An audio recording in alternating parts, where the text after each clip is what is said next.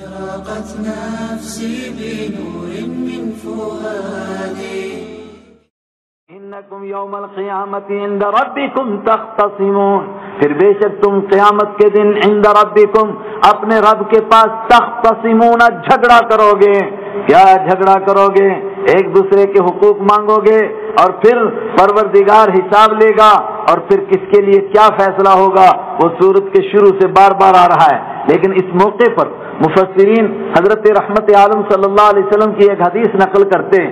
मैं मुनासिब समझता हूँ, मजमे को सुना दूँ। आपने फरमाया, साहबा से पूछा, सबसे बड़ा गरीब कौन है? सबसे बड़ा मुफलिस कौन है? साहबा ने अर्ज़ किया, हम तो उसी को गरीब कहते हैं, ला दिरहम लहू वला दीनार लहू। जिसके पास रुपया ना हो, पैसा ना हो, फरमाया, नहीं नहीं, सबसे बड़ा मुफलिस। अर्ज़ किया, आप ही बताइए, फरमाया, सबसे बड़ा मुफलिस वो है जो दुनिया में बहुत नेकियाँ करता है। नमाजें भी पढ़ी, रोज़े भी रखे, जक़ात भी दी, हज भी किया। मगर क्या हुआ? क्यामत के दिन पहुँचा, किसी को गाली दी हुई, और किसी की ज़मीन हड़पी हुई, और किसी को मारा हुआ, और किसी को पीटा हुआ, और किसी को सताया हुआ। फ़र्स्ट, एक आया, उसने कहा, इसने मुझे ये यूँ तकलीफ़ दी। तो रोज़े वो ले गया। क्यों? इसलिए कि जब, वहाँ कुछ देने के लिए तो है नहीं, इसकी नेकियाँ उसको दी गई। दूसरा आया उसने कहा, इसने मुझे यूँ सताया, नमाजें वो ले गया। तीसरा आया, उसने कहा, इसने मुझे यूँ तंग किया तो जक़ात वो ले गया। इस तरह सारी नेकियाँ चली गई। फिर कहा, अभी हक तो पूरे नहीं हुए। कहा, उनके गुनाह इसके सर ला दो। उसके बाद तुम उद नार। फिर उसके बाद, जहन्नम में दाखिल किया गया। हालाँकि नमाज़, रोज़े, जक़ात सब लेकर आया था। ईमान वाला था। निकलेगा कभी जहन्नम से, लेकिन कब निकलेगा, कितना अरसा लगेगा, अल्लाह ही जानता है। इसलिए हमको अपने आप को टटोलना चाहिए कि अल्लाह के घर में आए हैं, नमाज़ पढ़ते हैं, रोज़े रखते हैं, इसका मतलब जक़ात भी देंगे। लेकिन कहीं ऐसा तो नहीं, क्यामत के दिन हमारी ये सारी चीज़ें छिन जाए और बंदा सबसे बड़ा गरीब अकेला खड़ा रह जाए, कोई पैसा नहीं, कुछ नहीं, उसके बाद, ना उसके पास कोई नेकी है, बस गुनाहों की पोटली है जो उसने सर पे उठाई है। फमन अजलम तो उससे बड़ा जालिम कौन होगा? मिमन कजब जिसने अल्लाह के ऊपर झूठ बोला अल्लाह कहता है, ये मेरा कुरान है, वो कहता है, नहीं है, ये इसने पास से बनाया है, ये अल्लाह के ऊपर झूठ बोलना। वह कजब थी और उसने सच्चाई को झूठा क्या दिया।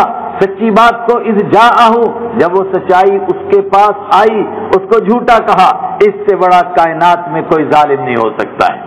वो पीछे की रिवायत ना, किसी ने किसी को सताया, किसी ने किसी पर जुल्म किया, किसी ने किसी की ज़मीन हड़पी, वो मैंने इसीलिए सुनाया, अब इसको इसके साथ जोड़ो ना। वो भी जुल्म था। मगर ये इससे बड़ा कायनात में कोई जालिम नहीं हो सकता है। जिसने अल्लाह को झूठा कहा और अल्लाह के कलाम को झूठा कह दिया, जबकि इस जाहू जब उसके पास आया अली सफी जहन्नम मसवन लिल काफिरीन। अलईसा क्या नहीं है फ़ी जहन्नम? जहन्नम में मसवन ठिकाना, जगह लिल काफिरीन। ऐसे नाफरमानों के लिए, ऐसे मुनकिरों के लिए, ऐसे काफिरों के लिए, इसके मुकाबले में दूसरा वल्लदी जा बिस्सिद्की और वो जाते गिरामी जा जो लेकर आए बिस्सिद्की सच्चाई को लेकर के आए अल्लाह के यहाँ से। वो कौन है मेरे और आपके आका हज़रत मोहम्मद अरबी सल्लल्लाहु अलैहि वसल्लम? वो लेकर के आए, वह सद्दा कभी ही और दूसरा वो शख्स, जिसने उस सच्चाई को सच माना, उस सच्ची बात को सच्चा माना, और सबसे पहले किसने सच्चा माना? सहाबा किराम ने सच्चा माना, और उनमें सबसे पहले हज़रत अबू बकर सिद्दीक ने सच्चा माना। इसलिए अक्सर मुफसरीन ने कहा इस आयत का मिसदाक पहले दर्जे में हज़रत अबू बकर सिद्दीक, फिर दोबारा। वल्लदी और वो जाते गिरामी जा जो आए भी सिद्ध की सच्चाई को लेकर के, वो सद्दा कभी ही और वो जिसने उस सच को सच माना मुत्तकून। ये दोनों के दोनों बचने वाले हैं किससे? अल्लाह की नाफरमानी से, अल्लाह के आजाब से, हैं, अल्लाह के गुस्सा से। ये है मुत्तकी, ये है परहेजगार। क्या मिलेगा उनको? लहुम मा यशाऊन। उनके लिए वो मिलेगा जो वो चाहेंगे। लहुम उनके लिए है मायशाउना जो वो चाहेंगे। और ये पुराने पाक की बलागत तो फसाहत है। आदमी कहे, जन्नत में क्या मिलेगा?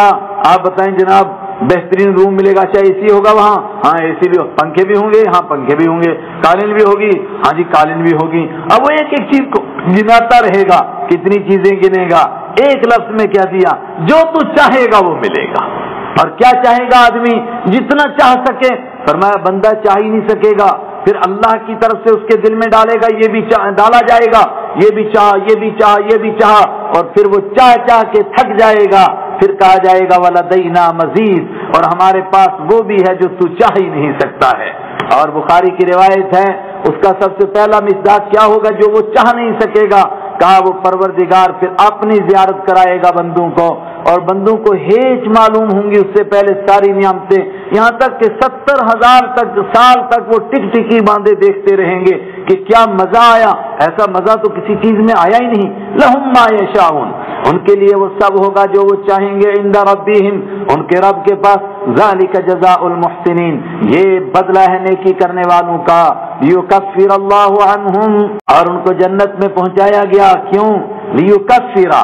ताकि मिटाए अल्लाह ताला अनहुम उनसे, असवा अल्लाजी, उन बुरे कामों को अल्लाजी आमिलू जो उन्होंने कर लिए थे।